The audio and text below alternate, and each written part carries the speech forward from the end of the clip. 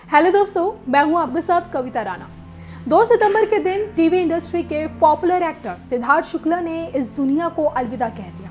कहा जा रहा है कि भाई हार्ट अटैक की वजह से सिद्धार्थ शुक्ला की मौत हुई और उनका अंतिम संस्कार एक दिन बाद उनके परिवार और करीबी दोस्तों की मौजूदगी में हुआ।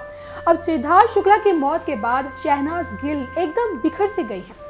एक्ट्रेस खुद को इस सदमे से बाहर नहीं निकाल पा रही हैं। दर्शकों के बीच सिद्धार्थ शुक्ला और शहनाज गिल की जोड़ी काफ़ी फ़ेमस अब ऐसे में टीवी एक्ट्रेस पवित्रा पुनिया ने सिद्धार्थ शहनाज के रिश्ते को लेकर बड़ा खुलासा किया है। सितंबर साल 2019 में सिडनाज की मुलाकात देखिए बिग बॉस 13 में हुई थी और इस जोड़ी ने जल्द ही दर्शकों के दिलों में अपनी एक खास जगह बना ली थी। किसी को उम्मीद नहीं थी कि भाई घर के बाहर उनका रिश्ता इतना ही मज़बूत रहेगा। इस जोड़ी ने अपने रिश्ते को कंफर्म करने में हमेशा से परहेज किया। हालाँकि देखिए दोनों ने एक दूसरे को अच्छा दोस्त ही बताया।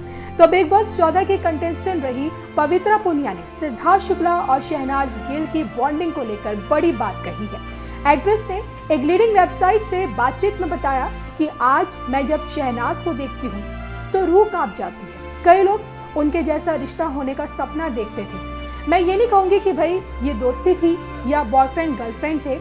ये रिश्ता पति पत्नी से कम नहीं था। सोनी, महिवाल, रोमियो, जूलियट के बाद लोग सिद्धार्थ शहनाज को याद करेंगी।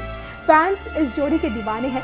मैं शहनाज और सिड की जोड़ी के प्यार में पागल थी और मुझे उम्मीद है कि भाई इस दुख से जल्द से बाहर आएँगी। तो आपको बता दें, सिद्धार्थ के निधन के बाद इस तरह की खबरें भी आई थी कि भाई दोनों ने सगाई कर ली थी और दिसंबर में शादी भी करने वाले थे। लेकिन मीडिया के गलियारों में देखिए फैली इन खबरों में कितनी सच्चाई थी, ये तो हम नहीं जानते, लेकिन पवित्रा पुनिया का ये बयान काफ़ी हैरान करने वाला है। बात करें पवित्रा पुनिया और सिद्धार्थ शुक्ला की तो भाई दोनों ने साल 2011 में लव यू ज़िंदगी में एक साथ काम किया था।